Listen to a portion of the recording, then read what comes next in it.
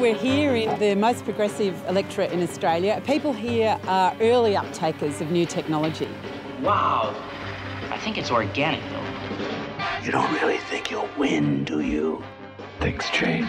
What we have is a Labor Party that says one thing to one group of people and another thing to another group of people. Well, first of all, it'll be a tight contest. It's going to go down to the wire.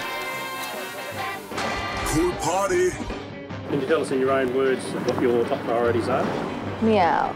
It's something that I certainly don't condone, defacing a poster, and I think it was a very unfortunate development. This is your sixth attempt at Batman. Of course. Lose tomorrow, is that it? It would be extremely painful. And here on National Wrap, the first candidate debate for the Batman by election. I hope that this campaign will be a sober discussion of basic issues. Tell me, Yes?